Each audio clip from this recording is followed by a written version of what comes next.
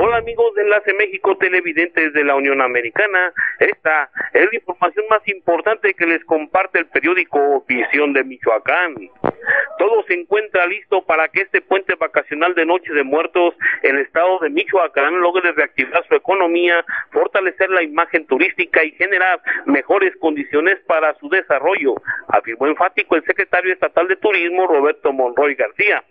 El funcionario estatal michoacano dijo que los días 1, 2 y 3 de noviembre son la gran oportunidad para que se fortalezca la industria sin chimeneas, por lo que hoteleros, restauranteros, prestadores de servicio y las autoridades estatales, municipales y federales han sumado esfuerzos para recibir a los visitantes ya que esta es una ocasión mucho, muy importante.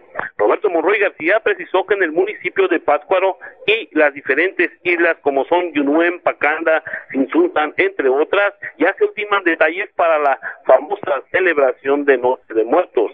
Asimismo, en la capital michoacana serán más de 300 actividades sociales, artísticas, culturales y paganos religiosas que serán expuestas tanto al turismo nacional como al extranjero.